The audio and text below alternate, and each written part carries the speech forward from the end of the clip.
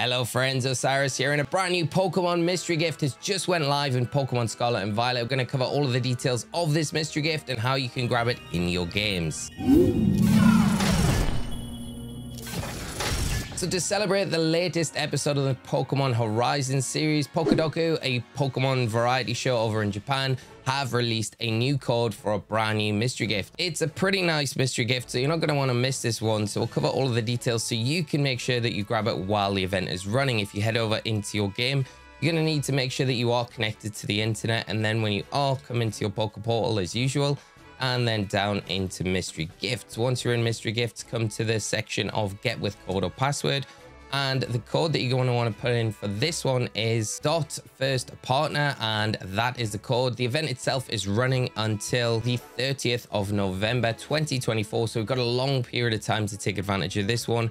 But this event will give you Dot Quaxly that you can see from the Pokemon Horizons anime and it will of course come with the partner ribbon as well. A bit like Liko Sprigatito that we got with that partner ribbon the Quaxly is going to be exactly the same. So when you do throw the Quaxly out into battle and you have the partner ribbon active it will say dots Quaxly has entered the battlefield which is a really nice little feature that they have been doing recently.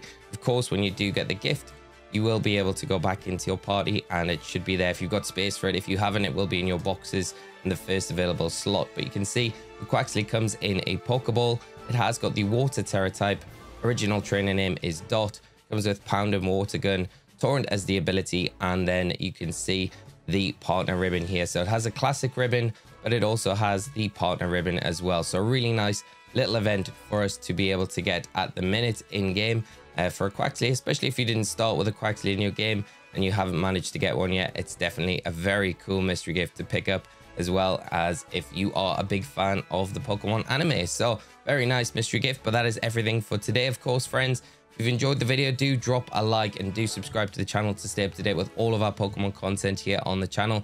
Thank you so much for tuning in and uh, we'll be back very soon with more videos on the channel. So do take care, friends. Have a great rest of your day, and I will see you all very soon. So until then, take care and bye-bye.